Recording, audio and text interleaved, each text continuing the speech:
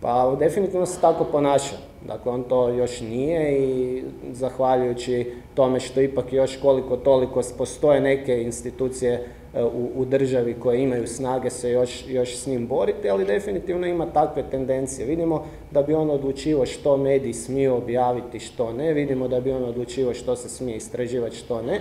Dakle, to jesu diktatorske tendencije. Htjeli se mi to priznati ili ne, to je tako.